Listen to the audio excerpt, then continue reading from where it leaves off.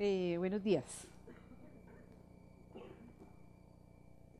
Cuando yo pienso por qué estoy aquí parada en un evento de TED Youth, em, me miro, eh, tengo todas las cosas de viejo, soy profesora, no más profesora, no, rectora, y estoy bordeando los 60 años, de manera que yo lo que, lo que no tengo son credenciales para estar aquí parada hablando cosas de jóvenes, pero me invitaron, me invitaron mis alumnos.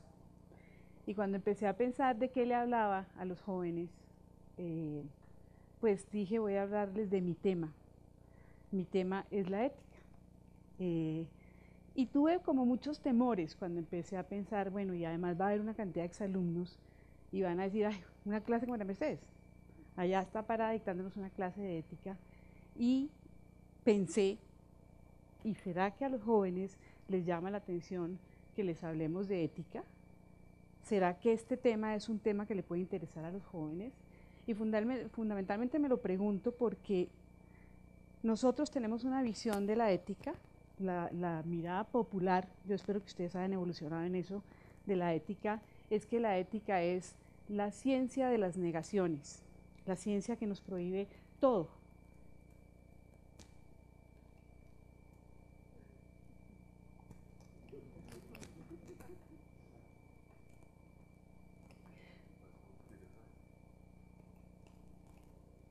La ciencia que nos dice a todo que no, todo lo chévere, la ética nos dice, no, eso no se puede hacer, eso está mal, usted no debe hacer eso. Esa preocupación es una preocupación para cualquier profesor de ética. ¿Cómo hago para enseñar esta ciencia de la negación? ¿Y por qué es que pensamos eso? Yo pienso que pensamos eso fundamentalmente, primero porque todos tenemos un poco de almas de Sancho Panza, de, de querer siempre estar a ras de tierra y porque pensamos que es que la ética ha sido hecha por filósofos que han estado distantes de la realidad. A mí me encanta que me haya antecedido David y que haya hablado de las cosas que habló. Me encanta que haya hablado y haya rescatado esta ciencia amada de la filosofía. Me encanta que me haya antecedido Yolanda y haya hablado de esas otras posibilidades que nuestra sociedad no reconoce con esa preocupación de si hablaba o no hablaba de ética, me rendí. Dije, no, pues sí, voy a hablar de eso porque es de lo que yo sé. Pero además porque es que estoy convencida de que la ética es el camino de la libertad. Solamente puedo ser libre, y ustedes jóvenes que quieren ser libres, esa es la gran aspiración de un joven, Solamente si me meto en el camino de la ética, soy realmente libre. Solamente si me hago las preguntas fundamentales, me respondo yo, de acuerdo con mis criterios, de acuerdo con todo lo que he leído, con todo lo que he estudiado, con todo lo que me rodea, con mi contexto, y decido emprender unos caminos, solamente desde esa perspectiva podremos decir que vamos por el camino de la libertad. Pero aparte de eso, pensé que debía hablar de esto cuando me puse a pensar en nuestro adolorido país. ¿Qué le está pasando a Colombia? ¿Qué les ha tocado vivir a ustedes? A ustedes les ha tocado vivir un país en el cual penetraron unos fenómenos que son terriblemente dolorosos, que se adivinan fácilmente. Uno, el fenómeno del narcotráfico. El narcotráfico permeó esta sociedad de una manera impresionante. Ustedes no se alcanzan a, imaginar cuántas de sus ideas son producto de la lógica de los traquetos. Ustedes no lo saben porque ustedes crecieron dentro de esa lógica. La lógica del dinero fácil, la lógica del, nos vamos por los vericuetos. Hay mucho de su inconsciente que está construido desde el narcotráfico. Por una parte eso, que claramente es lo, ilegal, lo malo y lo rechazamos conscientemente, aunque haya cosas que aceptamos sin darnos cuenta, inconscientemente. Pero por otra parte estamos en un país donde la corrupción es macabra. Hoy la primera página del tiempo, yo creo que me la escribieron para esta charla, dice que la empresa privada, que, los órganos del gobierno en ese momento están denunciando la corrupción de la empresa privada. Están denunciando que no es solamente el sector público, que todos los contratistas de este cartel de la contratación del distrito fueron privados, que ejercen su oficio de una manera poco ética. Nosotros estamos acostumbrados a estar del lado de lo privado y decir lo público es terrible. No, es que lo público siempre tiene algún privado que le está dando dinero para romper con sus principios. Y, y quizás cuando uno se mueve en eso, ustedes jóvenes se mueven en eso, oyen hablar de corrupción, oyen hablar de narcotráfico, oyen hablar, y además oyen hablar de ética, porque eso se ha puesto de moda, afortunadamente. Cada día más los políticos eh, hablan de ética. Yo aspiro a que por lo menos eso los obligue a contenerse de alguna manera. El haberlo dicho y haberlo pronunciado posiblemente los obligue a hacer política de otra manera. Y entonces, de pronto, ustedes piensan y están como en una disyuntiva donde vivir se, puede, se mueve entre esas dos posibilidades, o la posibilidad de la austeridad, el estoicismo, lo serio, lo aburrido, que parece ser el mundo de la ética, o la posibilidad del todo vale. Nos vamos por una de esas dos líneas. Esa podría ser como la disyuntiva que un joven se plantea hoy día.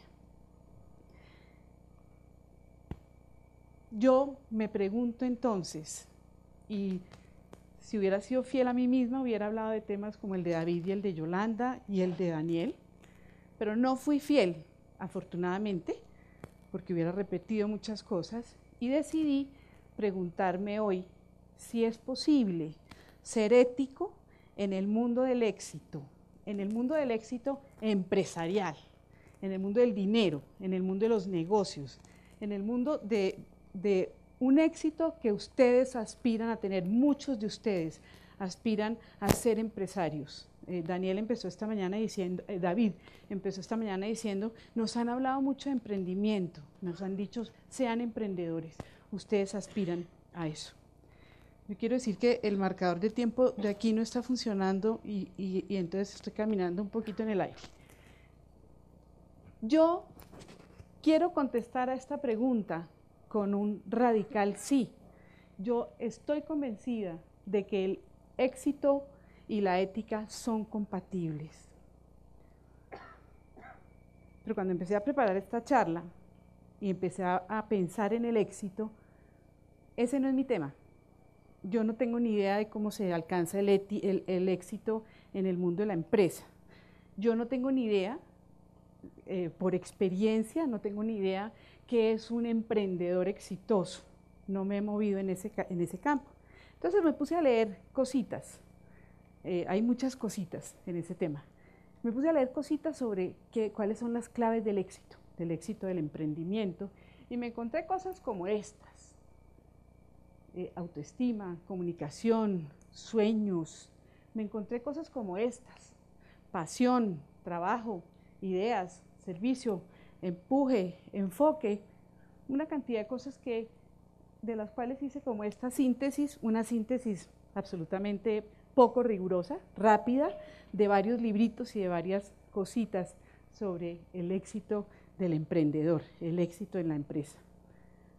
Ese fue como el primer ejercicio que hice y después empecé a pensar, bueno, ¿y esto qué relación tiene con la ética?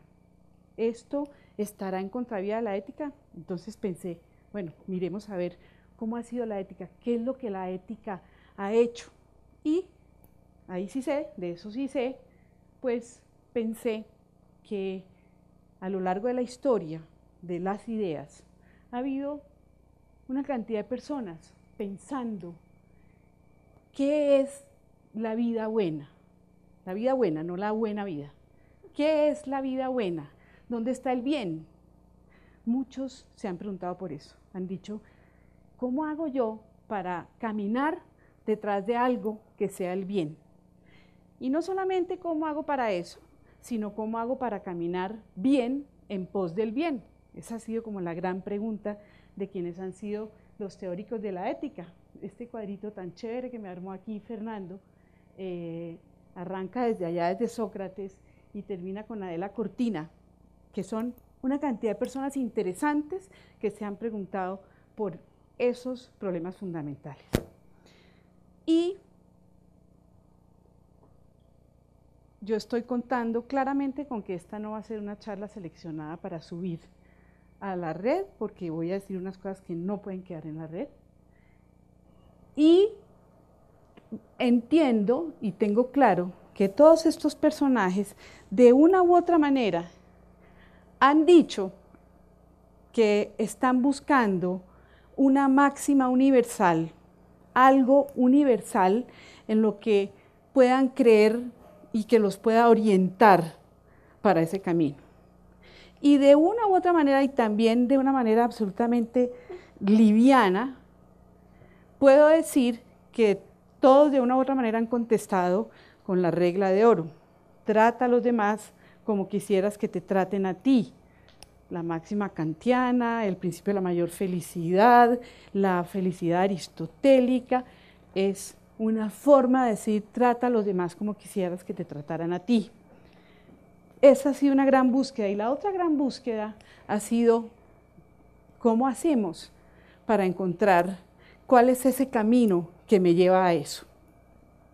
Y, digamos que ha habido como un acuerdo entre qué son las cosas buenas que reconocen estos autores y que reconoce la sociedad.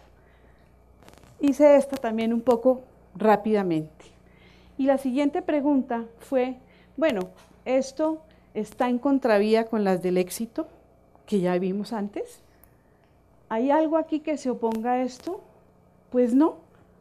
Pues no, si uno, uno dice, bueno, hay una que suena como feo, pasión. Hay una que suena como feo, ambición. Pero no nos suenan feo. En realidad son cualidades maravillosas que hacen que una persona logre sus propósitos y que se ponga metas altas. Y todas estas no son sino eh, soporte para lograr eso. Un poco para reforzar este tema, les cuento que en las universidades, la universidad más importante del mundo en este momento, que es la Universidad de Harvard, tenemos un pensador muy significativo para los educadores, que es Howard Gardner, que ha dedicado su trabajo reciente a preguntarse por cómo hacemos para trabajar dentro del camino del bien. El good work, la responsabilidad en el trabajo ha sido esa preocupación. Creo profundamente que esto es posible y quiero hablar de dos ejemplos de empresa y de vida que son ejemplos para todos los colombianos y de los cuales nos tenemos que sentir orgullosos y, a los cuales he tenido la posibilidad de estar cerca. Uno es Crepes y Waffles. Ojalá se metan ustedes y oigan un poco las conferencias, las cosas que han escrito. Lalo Macías y Beatriz Fernández fueron los fundadores de Crepes y Waffles. ¿Por qué? Porque Crepes y Waffles, que nadie puede dudar que sea un modelo de éxito, eh, un restaurantico que empezó en un garaje haciendo crepes y waffles y en el año 80, 30 años después, tiene más de 90 restaurantes en el mundo, dio unas utilidades el año pasado de cerca de 17 mil millones de pesos. Nadie puede negar que haya sido exitoso. Pero Lalo y Beatriz con quienes tuve la fortuna de compartir en nuestro colegio con sus hijos, tuvieron siempre dentro de su cabeza que tenían todo para ser exitosos, sueño, idea, trabajo, perseverancia, pero querían hacer una empresa en la cual hubiera unos parámetros éticos.